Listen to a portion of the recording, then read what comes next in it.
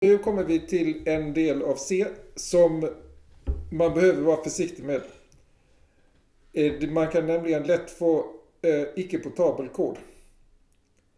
Det är om man jämför signed och unsigned eh, värden.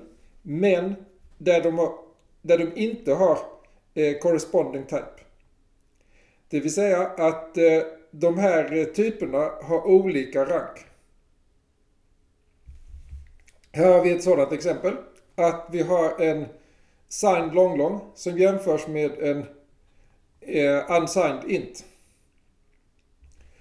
Om det är så att den typen som har lägre rank, det vill säga den, kan representera, alltså alla värden för den typen kan representeras i den signed-typen som har högre rank. Då är det den som konverteras till den typen. Så, om vi antar det. Då så kommer ju eh, alltså båda att vara signed long long. Och eh, minus, alltså då blir det minus 5, är eh, ju inte större än 3. Okej, okay? så det betyder att det här skrivs ut eh, pass om det är så. Det behöver inte vara så, för att alla heltalstyper kanske är 64 bitar. Det är inte så jättesannolikt, men det skulle kunna vara så.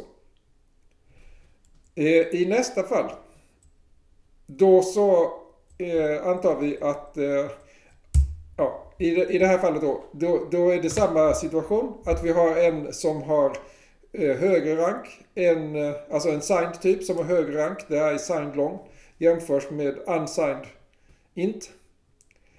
Eh, och sen så antar vi att alla tal i eh, unsigned int inte kan representeras i en unsigned, förlåt mig, i en signed long.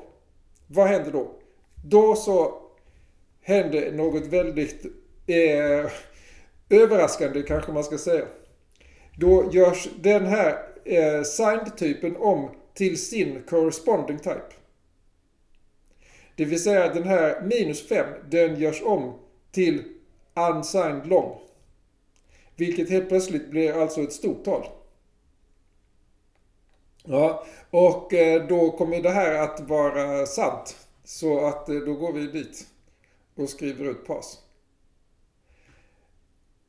Eh, så, beteendet för det här programmet, eller det här uttrycket, jag menar if-satsen, den är alltså beroende på den relativa storleken på olika typer. Eh, och eh, det är ju något läskigt måste jag ju säga. Speciellt om detta var i ett säkerhetskritiskt system.